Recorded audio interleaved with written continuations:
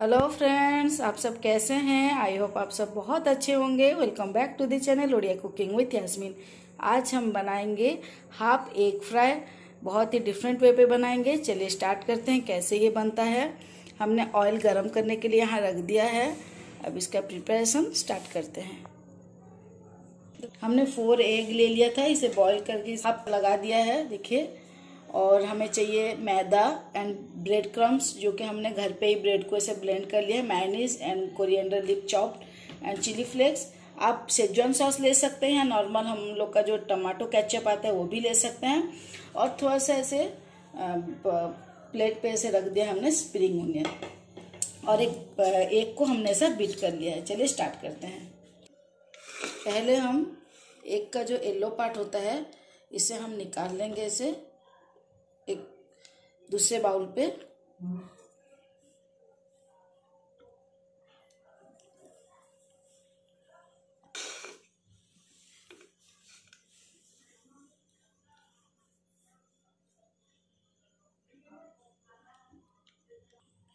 हमने इसे निकाल लिया है। अब इसे थोड़ा प्रेस कर लेंगे इसे। एक सॉस बना लेना है इस पे। अब इस पे हम डाल देंगे टू टेबल स्पून भर के डाल देंगे मायोनीज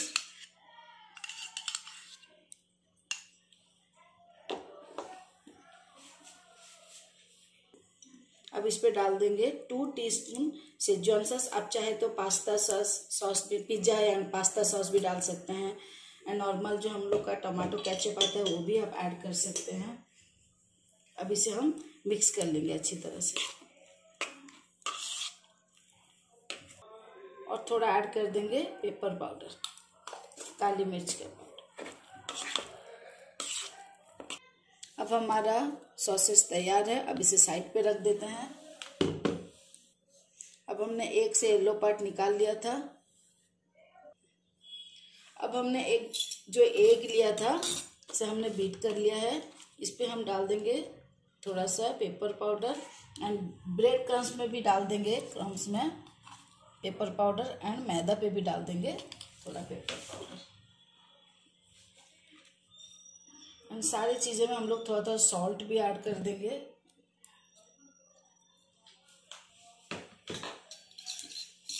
इसे हम मिक्स कर लेंगे। ऑयल हमारा अच्छी तरह से गर्म हो चुका है।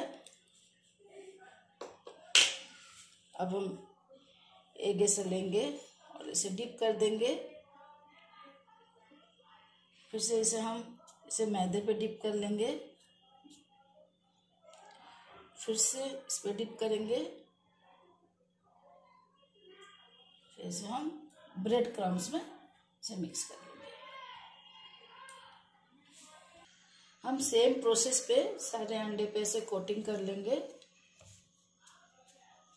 और इसे आप चाहे तो इसे जल्दी भी इसे फ्राई कर सकते हैं या फ्रीज पे 10 मिनट के लिए सेट होने के लिए भी आप रख सकते हैं।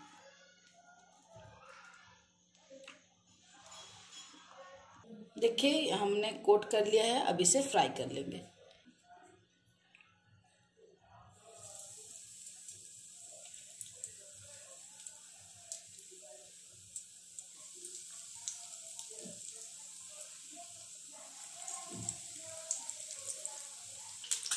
अब इसे हम पलट लेते हैं।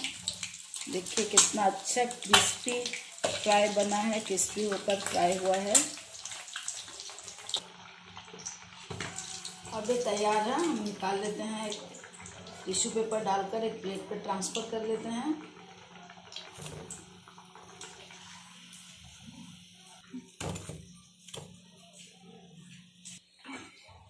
हमारे और जितने बचे हुए अंडे थे, इसे भी हमने फ्राई कर लिया है। अब एक प्लेट पे इसे हम इसे इसे सजा लेंगे।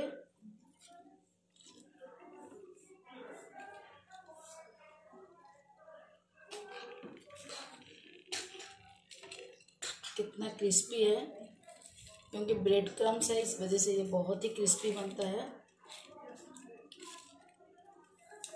अब हमने जो सॉस बनाया था, इसे भी हम इस पर पोर कर देंगे इसे।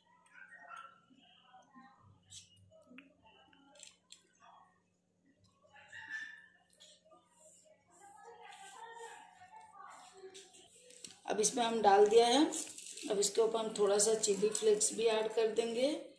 आप चाहे तो इसके ऊपर चीज़ भी ऐड कर सकते हैं। जब बच्चों को पसंद आता है तो आप ऐड करके दे सकते हैं या स्किप कर सकते हैं। और ऐड कर देंगे हरा धनिया।